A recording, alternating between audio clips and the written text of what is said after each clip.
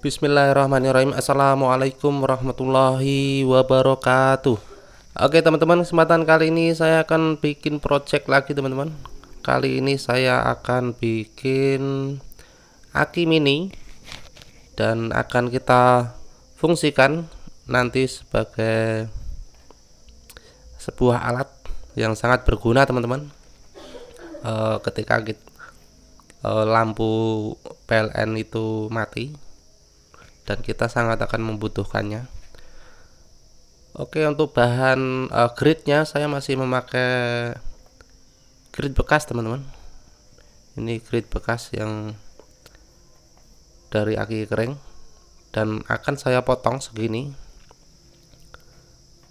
Dan mungkin untuk pemotongan juga uh, tidak tampilkan saja karena akan kelamaan. Dan ini untuk hasilnya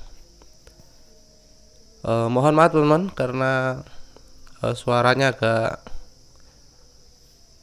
uh, beda ini karena lagi flu ya teman-teman. Oke untuk selanjutnya kita akan kasih timah dulu. Mungkin di akan saya percepat saja karena tidak supaya tidak makan durasi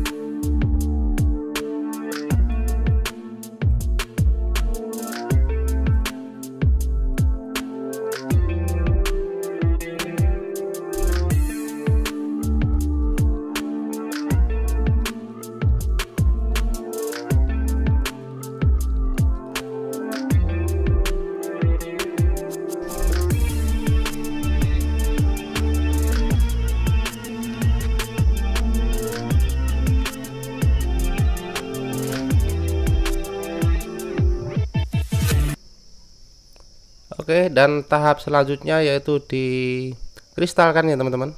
Untuk pengkristalannya tidak saya tampilkan. Dan ini sudah dalam keadaan dikristalkan.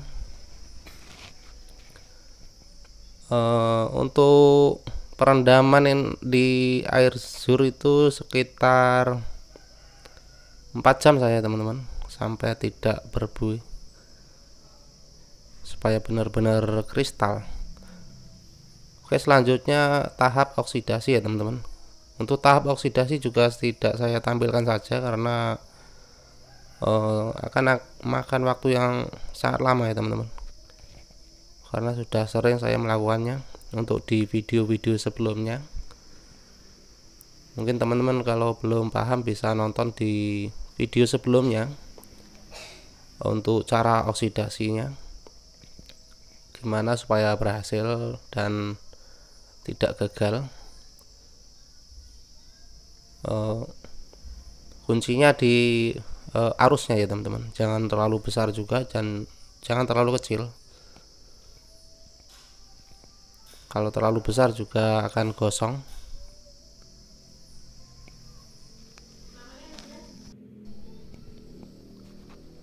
Kita susun begini teman-teman.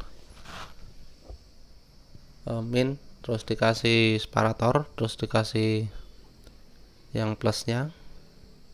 Kasih separator lagi baru dikasih min.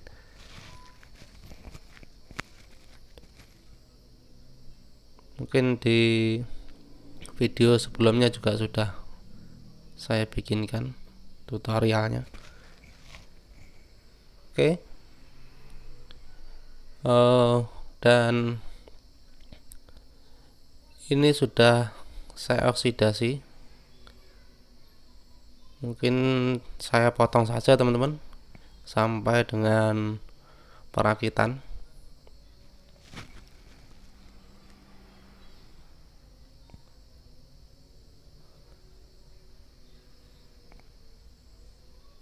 Dan ini dia sudah teroksidasi dan sudah saya pasangkan separator dan untuk tempatnya saya membuat ini ya teman-teman.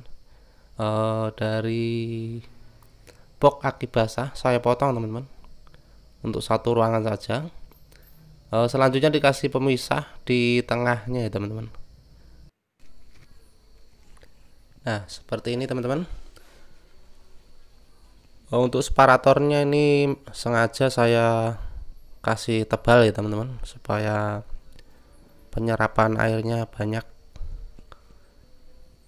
ini saya kasih tebal dan supaya sempit juga di situ di tempatnya. Dan selanjutnya ini dia teman-teman. Oh, sudah saya solder. Oh, secara seri teman-teman. Oke mungkin akan coba saya cek ya teman-teman. Ini belum saya kasih air sur apakah ada langsung ada arusnya? Saya ceknya menggunakan AVO ya teman-teman. Ini AVO yang manual ya teman-teman bukan yang digital. Yang analog maksud saya bukan bukan yang digital teman-teman. Uh, si tertera 4 volt teman-teman. Sebelum dikasih air sur. Ini saya kasih air sur dan kemudian akan saya cas ya teman-teman.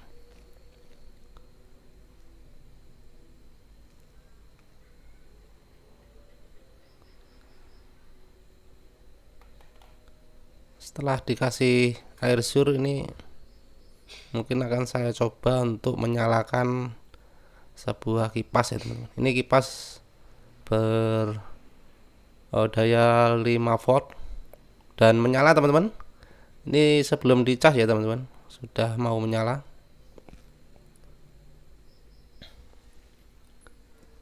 Setelah saya kasih air surut tuh sudah mau uh, mungkin harus saya cas dulu teman-teman supaya arusnya maksimal nanti untuk penyimpanan daya simpannya maksimal.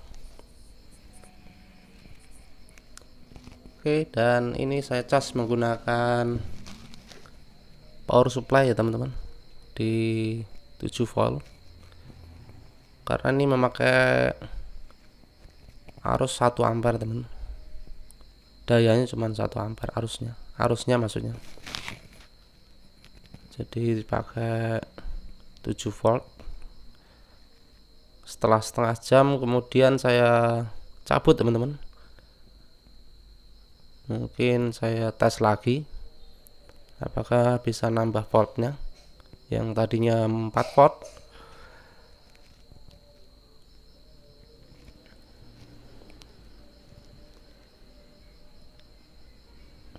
Oke dan terbaca 5 volt ya teman-teman. Dan bagus kita bisa gunakan untuk menyalakan kipas ini. Ataupun untuk cas handphone bisa teman-teman.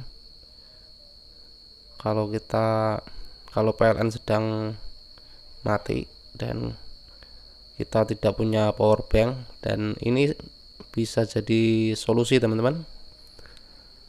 Uh, aki mini buatan sendiri. Tidak perlu beli ya sangat irit bisa menyalakan kipas juga kalau kita sedang kepanasan.